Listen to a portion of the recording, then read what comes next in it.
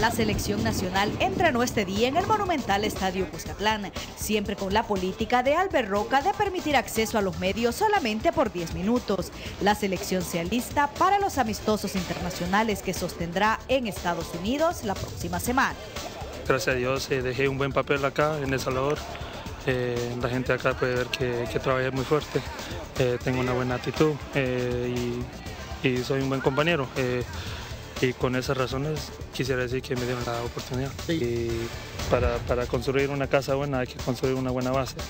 Y puedo ver que hay, los muchachos están muy contentos, están trabajadores, eh, hay una buena actitud. Eh, lo único que podemos dar a la afición ahorita es una buena actitud y trabajo.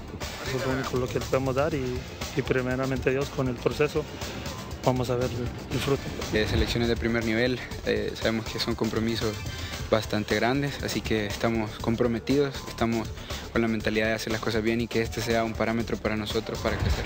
Por ahora estamos más eh, mentalizados en, corregir nosotros, en agarrar la, idea de juego que, el cuerpo técnico quiere, así que creo que después ese es el siguiente paso. En lo personal, el primer objetivo es quedar en la convocatoria final. Claro, estar en la lista de 20 es el primer objetivo, para eso viene uno acá, para poder estar, así que esperamos que así sea. ¿Y el grupo?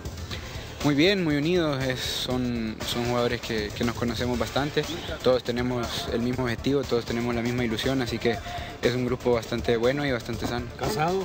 ¿Cansado? Sí, sí, cansado, fue un partido muy intenso, 120 minutos bien jugados, así que, pero por ahora pues con mucha ilusión, esperando recuperarse bien para hacer las cosas bien. ¿Molestias? Pocas, pocas, pero siempre del mismo cansancio, así que eh, yo sé que van a pasar con el, con el pasar del tiempo y lo mejor es que sea lo antes posible.